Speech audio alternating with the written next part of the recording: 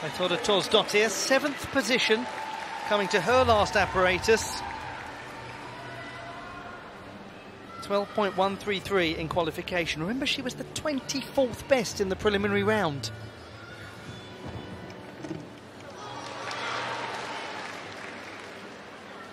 There's a slight problem on her round off back handspring mount, but she does very well not to make it a bigger one.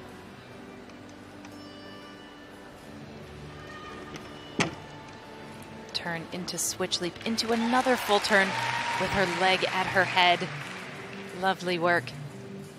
And she is someone who clearly pays as much attention to the choreography on balance beam as she does to the tumbling elements.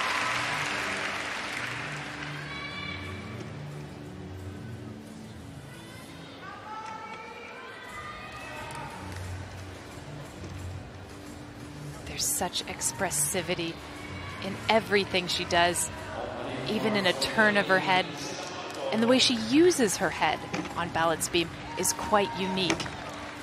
A lot of gymnasts just focus on the end of the beam, but she really takes the time to look outwards or upwards. And it adds another dimension to her work.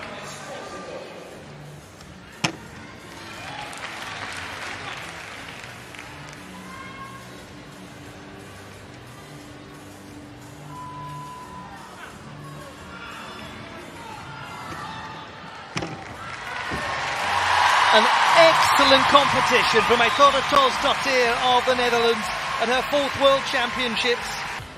You're looking at an athlete who has gone quietly about becoming one of the best in the world. And this is one of the best results of her career. Eythora Thorsdottir, 13.566. She is in fourth position at the moment in the all-around final.